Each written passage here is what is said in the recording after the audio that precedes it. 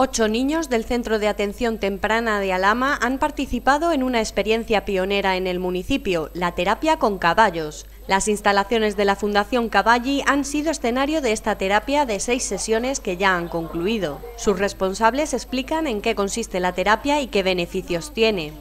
Y nada, hoy estamos en la última sesión con el último grupo que está justo detrás de nosotras y estamos muy felices porque el avance ha sido fantástico y mi compañera eh, os va a explicar ahora un poquito eh, las mejorías que hemos tenido con los niños a nivel no solo motor, sino también eh, a nivel intelectual y social.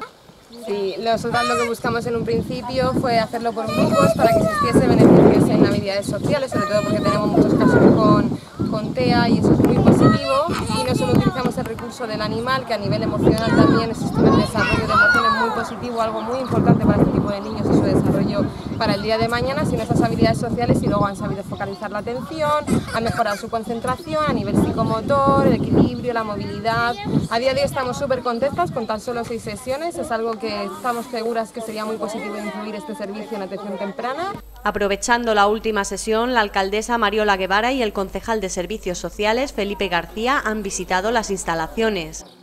Es una terapia sobre todo con la que pretendemos complementar eh, las actividades que se desarrollan en el Centro de Atención Temprana del Ayuntamiento. Con esta terapia sobre todo lo que se pretende es favorecer la estimulación de, estos niños que necesitan bastante estimulación para tener un desarrollo evolutivo adecuado. Así que sobre todo mm, desde aquí agradecer a, ella por haber tenido esta, esta iniciativa, una iniciativa fabulosa, pionera, creo que pionera a nivel de toda, de toda España incluso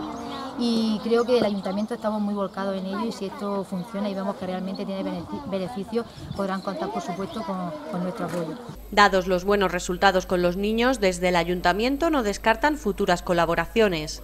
Encantados de, estar aquí con la Fundación Cavalli,